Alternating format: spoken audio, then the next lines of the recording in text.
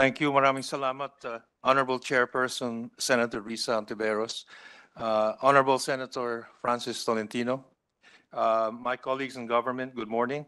Um, I just want to thank Senator Hontiveros and this committee for giving the Department of Foreign Affairs the opportunity to contribute to our um, meeting today in aid of uh, legislation. Um, nais ko lang mag-briefing lang on two points uh, with your permission. The first point is on the, the, the possible extradition uh, issue. And uh, as you know, the Philippines has an extradition treaty with the United States of America.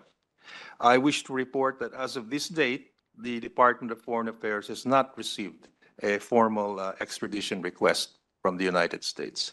Doon po sa isang issue din, uh, I want to um, focus on the request for assistance by any Filipino nationals in the United States who may have been victims of uh, human trafficking in relation to this case. Uh, as of this date, none of our foreign service posts in the United States have reported receiving any request for assistance. Madam Chair, um, the DFA is ready to assist in providing any information that we may receive from this date relevant to the uh, to today's legislative inquiry. And uh, I've also um, I'm also being joined today by Undersecretary Jesus Domingo, who can uh, add uh, any input if needed for uh, this morning. Thank you. Thank you very much, uh, Secretary Manalo. Yes, uh, would you, Sec Domingo, like to briefly add anything to these two updates on the formal request for extradition and the request for assistance? Okay, uh, thank you, uh, Madam Chair, um, uh, Senator uh, Tolentino. Yes, as um, Secretary Manalo had has uh, mentioned, that uh, we have not yet received a formal request, but we are standing by also, we have also not rec- received any request with regard to um, trafficking, uh, sorry, with assistance with respect to the human trafficking. But all our foreign service posts and all our offices in the Department of Foreign Affairs uh, stand ready. And we have been in informal um, consultation and communications with our sister agencies and government. Thank you, Madam. Thank you also, uh, Yusek uh, Domingo.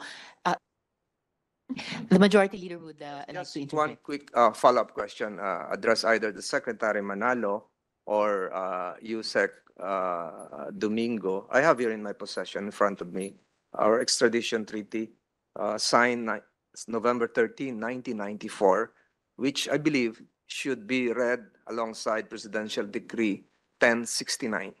This has uh, s- some uh, legal complexities involved and perhaps you might want to uh, educate this committee, which would have primacy just in case an extradition request is sent to the DFA. What would happen to the pending case cases uh, lodged before the Regional Trial Court of uh, Pasig pursuant to PD 1069? Thank you very much, uh, Secretary Senator. Manalo. Uh, If I could first give a very general answer, and then, of course, uh, uh, on any specifics uh, that might arise in the event that we receive a formal extradition request. Just to say, uh, if we do receive a formal request, we will, uh, the DFA will, of course, study it and see if it is consistent with the agreed procedure pertaining to extradition. And here is where PD uh, uh, 1069 would also come in. So we would have to study that.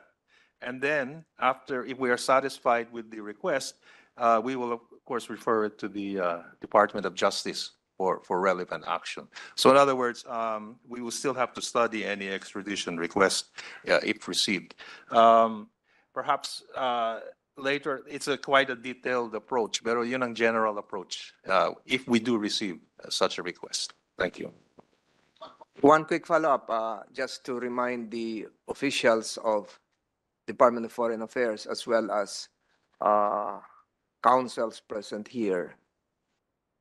Anything that would transpire and would come out of these proceedings under oath, would be recorded. And pursuant to existing extradition rules, any request to have any transcripts coming out of these proceedings would have to be coursed through the DFA. Kayo po ang magpapadala nito mula sa committee ito papunta kung saan man. So you should be aware of that and the same the say the, the lawyers here present should be aware of that because this would this would uh, uh, trigger some concerns involving involving civil rights or individual rights. So just be aware of that. Uh, and and I I suggest, Madam Chair, that the DFA should should uh, stay here till the conclusion of the the investigation proceedings uh, to be to be physically present. What uh, but that's what I'm saying. Thank you, Madam Chair. Thank you, Majority Leader. Ah, assured naman po tayo na bagamat uh, met may kailangang mauna ng umalis si Secretary Manalo that Yusek Domingo uh, will stay on with us. So the department will be uh, uh, well represented. Salamat po, uh, Secretary Manalo. Para sa may init na balita sa loob at labas ng bansa, subscribe na sa Teleradyo Servisyo YouTube channel.